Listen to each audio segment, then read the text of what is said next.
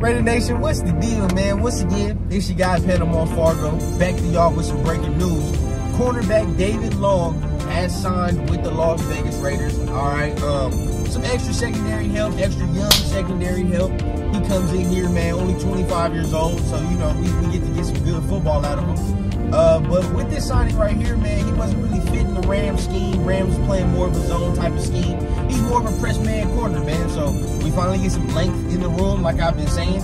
Uh, but at the end of the day, with this signing, we have to wonder: Is Rock Ya-Sin going to be coming back?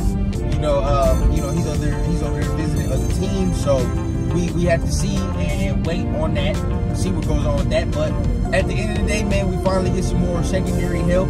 I still anticipate the Raiders to draft a young draft class is so loaded, so you might as well draft you somebody maybe in that first round, maybe in that second round. You never know how things shake out, but you know for right now, our, our corner room is slightly filling out, but I do anticipate a little more depth to be uh, to be added to that room. But once again, man, your breaking news: David Long has signed with the Las Vegas Raiders. It's a one-year deal, man, from the Los Angeles Rams, and we get somebody with a very high upside, you know, low risk, high reward type of signing. So make sure y'all like it. Make sure y'all subscribing to the content. I'm gonna check y'all out next time, man. Remember, I always keep it authentic from the clouds to the ground